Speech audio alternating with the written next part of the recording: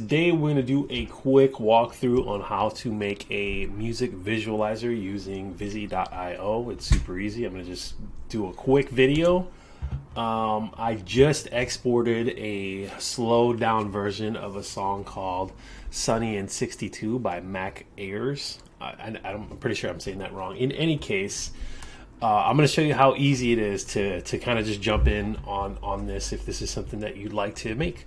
Uh, tons of templates here, so I'm just going to pick most popular just as a jumping off point here.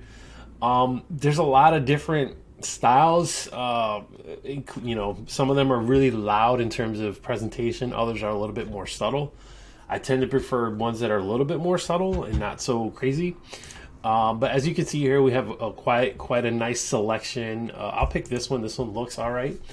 Um, and you can change any of the stuff that you see, right? So when you import or when you load a project, a community project, um, you're basically just bringing in some of the stuff that somebody's already worked on, but you're welcome to tweak it and make adjustments however you see fit. So, for instance, we're going to hit play on this as soon as it finishes loading, uh, just so we can see what it looks like. Here we go. Let me just jump forward, see what happens here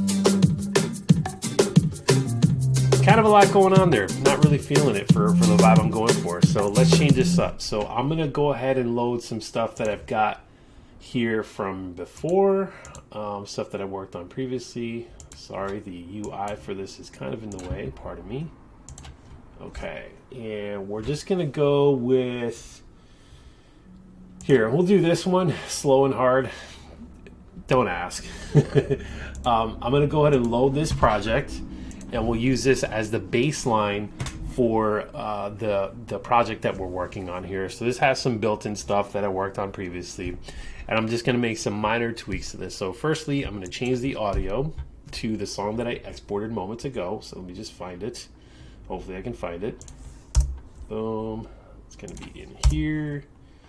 And Sunny, there it is. Boom. Import that. So if I wanted to export this at this point without putting any effort into it, I, I certainly could do that, but that's kind of lean. Um, so I'm going to just change this. Uh, so here's what we got right now. It's a little busy. Um, so I'm going to stop this and I'm going to uh, make a couple of adjustments here. So let's go back to composition. We're going to go to the spectrum so the spectrum is uh, these guys right here. I'm gonna get rid of these actually. Delete, yes. We're also gonna delete this guy here, boom.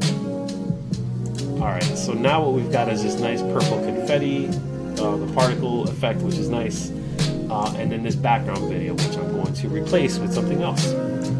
So I'm gonna hit upload here boom and i'm just gonna go to this uh, i've got like this resource. Some stuff that i've downloaded just just to give you an example. So i'm gonna use this this is a video that i got from pexels.com p-e-x-e-l-s.com really easy boom i'm gonna hit play. Just like that nice visualizer. This logo right here is Xlounge is my friend's uh, accounts. Uh, make sure to check out Xlounge on youtube. Xlounge music um, and it's just it's kind of like a watermark, you know. Um, and then if you want to add an additional visualizer, we can go over here. We got all kinds of different stuff.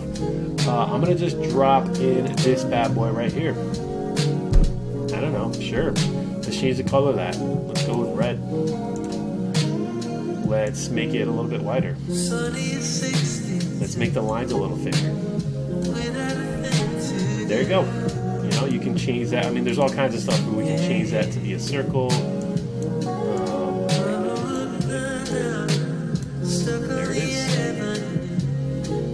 Uh, so once you're done, you feel happy with that, you can just hit File, Exports, and then uh, you got a couple different render options here. I usually like to go with Fast, 1080p, 60, Start Export. There you have it.